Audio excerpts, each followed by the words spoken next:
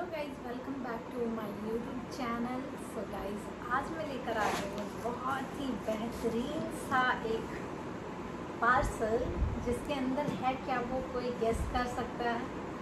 चलिए मैं बताती हूँ इसके अंदर है क्या। जिसको मैंने पहले ही इसको अनबॉक्स करके देख लिया था, क्योंकि ये ओपन डोर डिलीवरी था, इस वजह से डिलीवरी बॉय ने पहले चेक करके मुझे दिखा दिया था।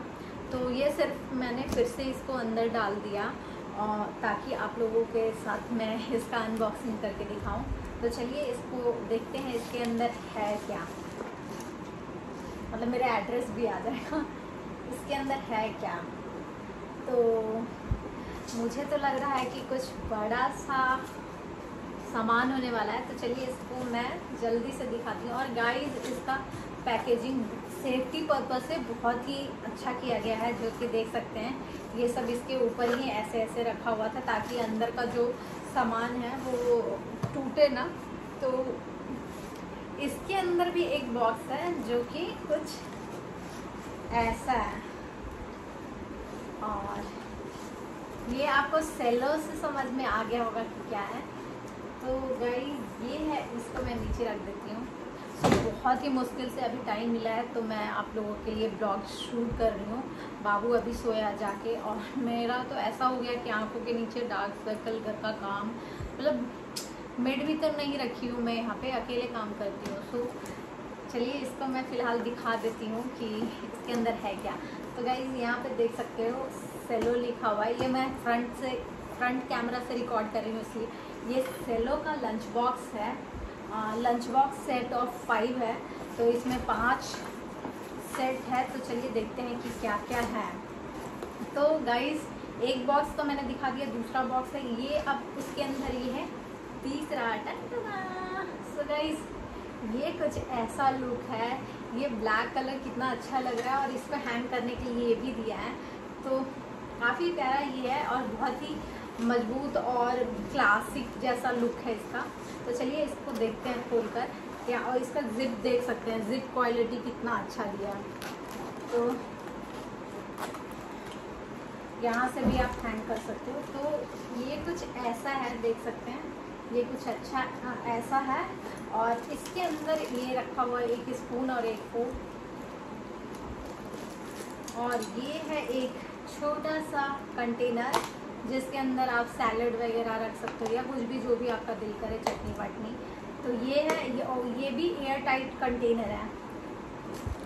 ये पहला हो गया। ये दूसरा है।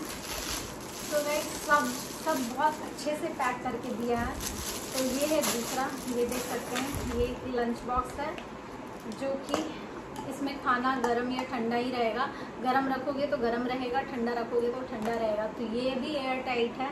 तो ये काफ़ी अच्छा है। एक हो गया, ये दूसरा। ये दूसरा बॉक्स है। तो ये भी एयर टाइट है। इसका थोड़ा सा डेप्थ ज़्यादा है मतलब इसमें ज़्यादा कुछ आने वाला है। तो ये भी एक एयर टाइट कंटेनर है लंच बॉक्स है, जो कि स्कूल या ऑफ़िस या कॉलेज या फिर कहीं बाहर जाने के लिए काफ़ी ये है तीसरा लंच बॉक्स और ये इन दोनों से भी बड़ा है। देख सकते हैं इसका साइज़ कितना बड़ा है। सो ये भी एयर टाइट कंटेनर है और इसके अंदर देख सकते हैं कितना डिफ्ट है। और इसमें से खाना लीक नहीं करेगा, सबसे अच्छी बात है। क्योंकि बहुत टाइम ऐसा होता है कि अगर खाना कहीं ले जाओ तो बैग से लीक कर जाता है। और ये है एक बॉटल जो कि काफ़ी प्यारा लग रहा है। ये भी सेलो का है, देख सकते हो। ये भी बॉटल का है। बॉटल का सॉरी सेलो का है।